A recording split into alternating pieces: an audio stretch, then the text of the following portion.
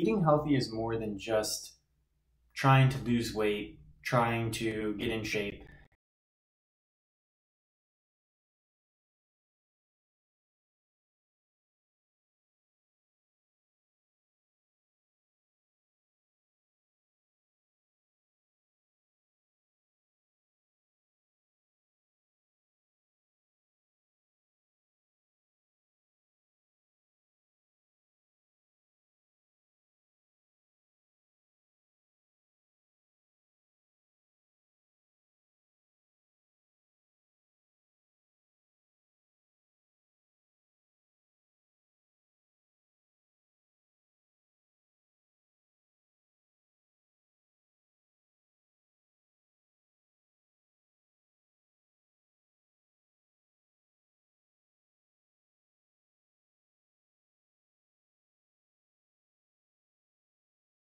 But I would eat them at the I would eat like junk food at the wrong time, just the just the wrong time. Like start up my morning at work eating a donut, and then I would feel tired.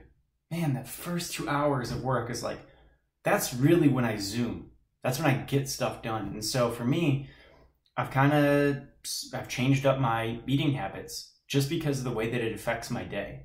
I've realized that waking up, having egg whites, oatmeal, I have oatmeal with honey and uh, slivered almonds. I think that's how you say it, chopped almonds. Uh, sometimes avocado toast, and uh, typically a protein shake. So I'm not trying to pitch very expensive foods. Actually, all of these things can be purchased at Lidl or Aldi or any cheap grocery store. You can buy all these ingredients. And I encourage you to do it because if you eat breakfast to start the day out, you're in control of what you're eating you're probably more likely to be in control of the things you're going to eat later in the day. So if you're if you start getting up earlier and you start making yourself breakfast, then you're going to be eating healthier in the morning. Hopefully that will encourage you to start to develop the habits to eat a healthier lunch. Then maybe you'll make your own lunches. And in the end, you end up saving so much money.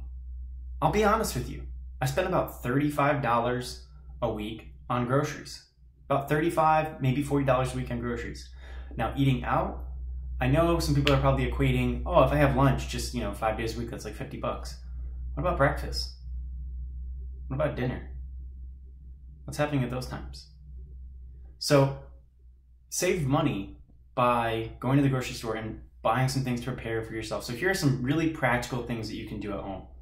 What I would highly recommend is taking a tray, placing some vegetables on it, seasoning them with salt and pepper, and uh, the two proteins I typically go for are chicken and shrimp. Those are really good foods to kind of mix in. I haven't really gotten tired of those. Um, go ahead and put those in a tray and bake that. You can make a lot of food in a really short period of time. You put it in the oven about 475 and you cook it for maybe an hour and you have your whole entire week's worth of lunches prepared for you ahead of time. So I'd highly recommend that if you are considering eating healthy, you know, start out by just making a nice breakfast. It doesn't even have to be egg whites. It could just be fried eggs, something real, something that's not a Chick fil A sandwich, something that's not bought at a fast food restaurant when you're in a hurry. Because if you're always in a hurry, who's watching out for you? Do you think McDonald's or Chick fil A actually care about you? You think they, you think they, they care how long you live? They really only care about how long you're going to be a customer of theirs. And so they're just trying to figure out how cheap do they have to make their food for you to buy it? And they know that you're going to buy it because they're all over the place. So I guess pay yourself by saving money and also reward yourself by eating healthy and living a longer life and not feeling so distracted when you're at work because the food that you're eating is making you into a different person than who you can actually be. Um, yeah, so that's my advice for today. And the real practical advice in this is it's very easy to go to a grocery store and start doing it for just one meal.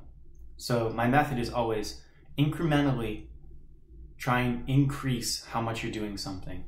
Because for me, I'm not a person who can really go cold turkey on anything. It takes little steps, little steps of progress towards getting to a bigger goal. So maybe you just make breakfast if you're really bad like I was. I the thing that saved me is I started using meal preps. So I had I had a meal prep service that I started paying for because I was so bad at cooking. And then I started to realize, hey, wait, I can actually I can make these things And it wasn't until my girlfriend really started getting into cooking that we started making meal preps ourselves. So now we make our own food. But um, if a meal prep service is the thing that will save you, go ahead and try that.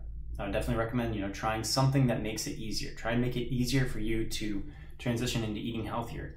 And when you do it, try and take a you know a, a minute to realize how you feel in a day compared to eating you know, sugar-rich foods, stuff that's really not working for you. Because as much as I would love to have a bag of potato chips or some Cheetos, I, the thing is, I so understand how much of a headache that's going to give me later, how lethargic it's going to make me, how tired it's going to make me, how it's going to affect me, and I just I just don't want any of that.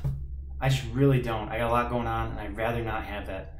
I'd rather have something that's clean that you know is going to taste good, but not make me super tired. And so a lot of times I got to go and procure that myself. I got to go, I have to bring fruit, right? Like not a lot of offices have fruit in like their snack room. So you have to start doing that yourself.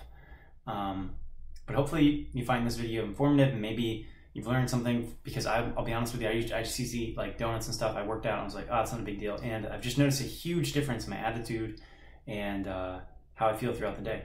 So if you like this video and you like these little tips of advice, I put out a video Monday through Friday. Um, so like and subscribe and you'll see more videos. Thank you for watching.